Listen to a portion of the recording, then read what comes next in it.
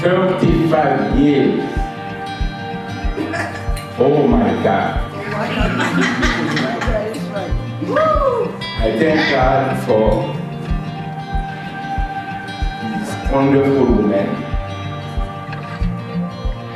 who has been with me in the valleys and mountains.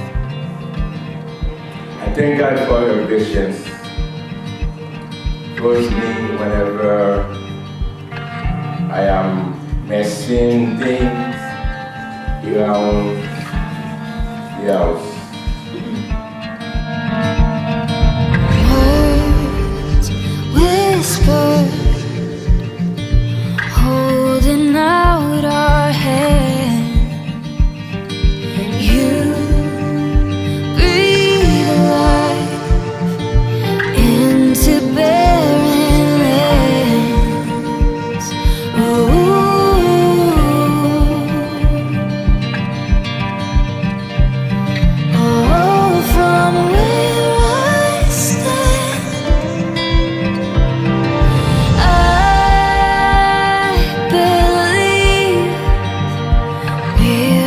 Reflecting.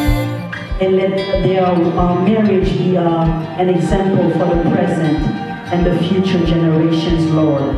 And as we request the honor of your presence among us, bless everyone here present today. We pray you in the precious, mighty, and glorious name of our Lord Savior and Jesus Christ. Amen. I love you. You are big sister to me. You're not just a Tani sister, a big sister, but you are my sister. Not only in God, in God's way, but in my heart. You are my sister. Thank you for um, showing us um, how to love God. One another, another thing about this couple, they love the Lord, and they there's nothing that they think that can change anything but prayer. Thank you, Lord, for them. Thank you, Lord, for Jojo and Lisa.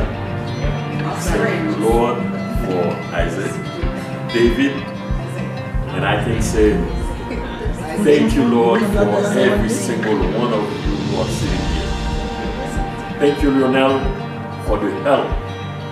Thank you, Bebe, for your grace. Amen. We celebrate your love today. May your example of love trickle. Excuse. Take your time, take your time. Take your time. Breathe, breathe. Okay, I don't even know where I'm turning up. Unexpected. It just comes out of nowhere. May your example of love trickle down to everyone you speak to, everyone you talk to, and may they also have a chance to say they also celebrated 35 years of marriage. Cheers! Cheers, and many, many